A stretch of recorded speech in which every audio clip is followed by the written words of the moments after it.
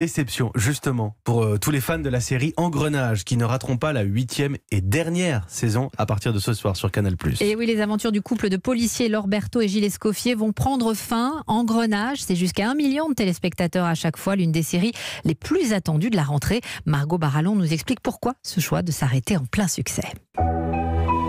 15 ans que les spectateurs de Canal Plus entendent ce générique. 15 ans qu'ils ont suivi avec engrenage les plaidoiries de l'avocate Joséphine Carlson, les procédures du juge Robin et le quotidien des équipes de la capitaine Lorberto. Maintenant, il faut les relancer.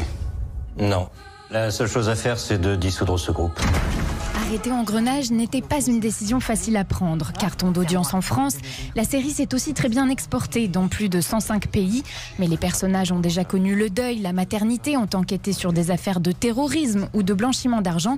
Et pour les acteurs, comme pour Marine Francou, la directrice artistique, pas question de faire la saison de trop. J'ai eu des échanges avec Canal parce qu'on ne prend pas la décision comme ça seul euh, d'arrêter cette série. Mais moi, je leur ai dit, en tant que scénariste, j'ai l'impression, pour les personnages historiques d'Engrenage en tout cas, on est en train d'arriver au bout et que déjà la saison 7, on les a emmenés assez loin. La série est peut-être épuisée, mais pas le filon. Canal Plus sortira dès cet automne une nouvelle fiction du genre.